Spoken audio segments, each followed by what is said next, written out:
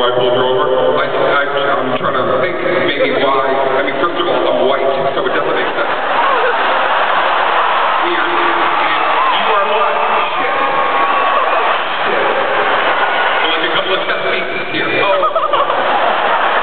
Oh. Oh, my God.